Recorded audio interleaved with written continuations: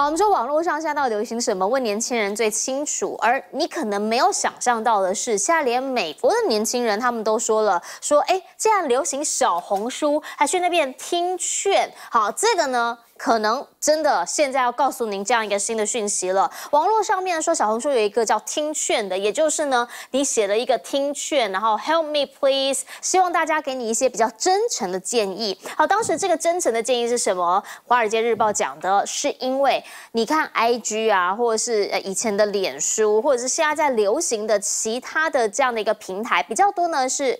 比如说赞美，或者说啊你很棒，甚至呢是比较负面、公然羞辱等等的。但是大家其实希望在这个网络世界能够得到一些比较诚实而友善的回馈。所以呢，在小红书上曾经有过这么一个听劝的活动。现在据说啦，就连外国人也开始了附上自己的脸啊、全身侧面照片来寻求中国网友的建议。有一个人他就讲了，他说呢，他在美国的讨论社群平台 Reddit，这个其实在美国还蛮有名的，说呢。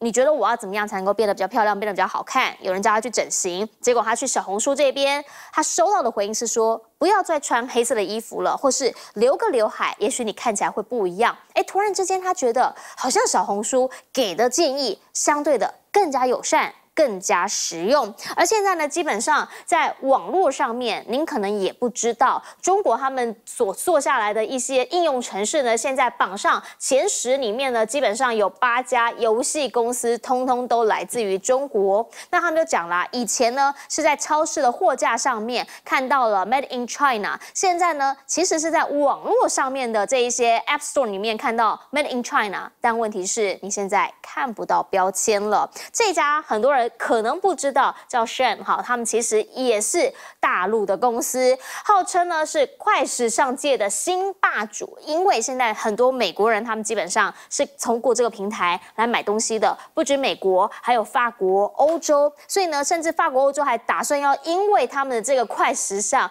来立下一个法，因为觉得呢这样子好像太过于浪费资源了，对于地球来说是增加地球的负担，要考虑来立法等等等。现在这一些内容都在网络上面可以看到，可以找到。你可能不知道它来自中国。这个 Temu 呢更厉害了，因为每一次哈上亿人、上亿美国人所看到超级杯，这次他竟然买下了六支广告，六支三十秒的广告，哇，这个。费用非常非常的高，但是知名度打得更大了。大家讲了，他很像是打了兴奋剂的亚马逊，因为亚马逊确实内部会议直接讲了，包括了 Sham，包括了 Temu，就是他们的最大对手，必须要把他们给拿下来，否则自己很难存活。脱到这边呢，你可能不知道，其实呢，像美中美国一直说他们不寻求脱钩，但是他们要把它列为一个竞争的对手。好，你知道如果他们真的脱钩的话，影响有多大吗？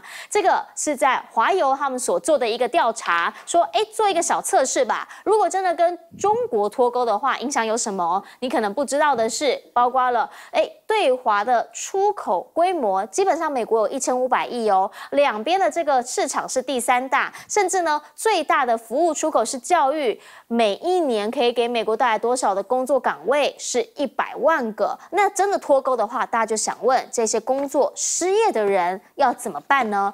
百万人口啊，而没有了中国市场，确实很多人、很多企业会开始有些焦虑。譬如波音，波音基本上一直以来，他们都希望能够在中国这边再跟他们更友好一些些，因为他们自己在中国区这一边、亚洲区的总裁也讲了。中国是一个非常重要的市场，因为他们现在正在民航机呢有很大很大的消费能力。好，可是又在出事了。美国联航的一架七七七呢，现在是引擎故障被迫降落。那先前更不用说了，空军一号啊，又或者是那个时候在这个。苏利文出国的时候啊，或是布林肯出国的时候，哎，也都曾经出现过飞机可能必须要好好修理一下，否则会造成行程延误的状况。当拜登被问到这么一件事情的时候，他回答很俏皮啦，他说：“我不会坐在门口的。”但这么一句话，是不是也黑了波音一回呢？到底对于美国来说，对于中国来说，应该怎么样看两边的竞争关系？请教界大使，因为。百姓看的观点可能比较不一样，百姓看的观点是从自身出发的，所以他也觉得，哎，中国的 App 没有什么比较不好用。对啊，我们就讲这个，比如说这边刚刚讲的一个受访者，美国的受访者说，他就要寻求怎么样改变他的这这个外形嘛。结果呢，他在这个这个美国的平台上，他说一个黑人说怎么改变我外形，结果有人回答给他回答说，叫他把他皮肤漂白。你觉得这是不是很邪恶啊？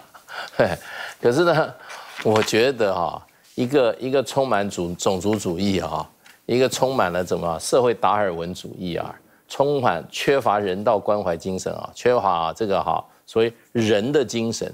孔子讲的仁，仁义的仁，嗯，就永远心中有别人的这样子的一个哈啊，不是只有自己的这个个人主义哈，一切唯我独尊的这种文化啊。你就你这平台，你会得到这么这么令人啊，你感觉这么毒恶的一种回答，说你去把皮肤漂白，哎，这个是很毒恶的。那你看他去中国大陆网站，同样是年轻人，他给他的是什么样？是很具体的，没有什么种族的偏见，没有什么，没有什么这种哈所谓的这种哈阶级的这种仇恨的意思在里面。大家就是说，都反映一个很平和的心态。所以很好笑的就是说啊。美国认为它是一个充满人权的社会，啊，美国社会是什么样？是平等的，讲要人身人民。我跟你讲，你天天在喊人权的原因，就是因为你这个社会没有人权；你天天在叫平等的原因，就是你这个社会没有平等；你天天讲要尊重别的种族的时候，就是因为你这个社会种族主义很严重。中国的社会很少讲这些东西，因为很人性化。我们从孔子的儒家思想开始，我们是非常人性化的。我们是基本上哈，你只要不要这个哈，个人遭遇到太太太大的这种哈，这种哈不幸的事件，每个人的心情都寻求一个平衡。我跟你讲，你今天讲这么多制度，你讲人权讲一大堆制度，美国现在的城市进去的话，你晚上你不敢上街，你很多地方你不能去，嗯，对不对？你一个人走在街上的时候，你觉得不寒而栗，然后那个地方的种族。仇恨的攻击，这种哈暴力的攻击、抢劫、枪支泛滥，这个叫这个叫好的国家吗？你有好的制度，你有好的理想吗？没有。前一阵子，一个英国的一个一个一个一个一对一个家庭，他们去中国大陆观光，结果呢，进入那个城市已经深夜了，嗯，结果他们在大街上找旅馆住，是。结果呢，走在路上说。他非常非常惊讶，他说：“居然这个社会这么安全，然后最后还给他找到一个旅馆可以 check in。”我跟你讲，这在美国，在纽约，在美国所有大城市几乎是不可思议，做不到的。所以呢，我觉得啊，我看到这个讲听劝这个哈，这一个一个这些哈美国美国小朋友跑到中国的这个哈，去中国听中国年轻人给他劝告的时候？我就想到现在美国社会跟中国社会差异如此之巨大，嗯，值得我们哈深入去思考为什么会有这么大巨大的差异。是，请教小舰长。嗯，拜登讲这句啊，也就是说我不会坐在门口。这句话其实他就是给波音最大的一个痛击啊。那但是他虽然后面还补了一句话，他讲说开玩笑的啦，我不该拿这件事情开玩笑。但是这件事就代表什么？代表刚刚。主持人讲，我们一般寻常老百姓、寻常大众的态度是什么？最重要的就是安全，不是吗？我去坐个飞机，结果莫名其妙的出事，那到底是怎么样呢？这个是第一个有关于安全的要求。第二个，你航空公司会因为我坐现在波音的七三七 MAX 的这些飞机，有给我票价折扣吗？没有票价折扣，而且。生生命只有一次啊！你给我折扣，我也不一定愿意要啊。可是我们来看看啊，现在在整个这个民航机的现货市场上面啊，那除了我们讲到说波音七三七 MAX 八，那它现在的价格是一点二二亿美金啊。那相对于另外一个，也就就也就是空中巴士，空中巴士的价格呢？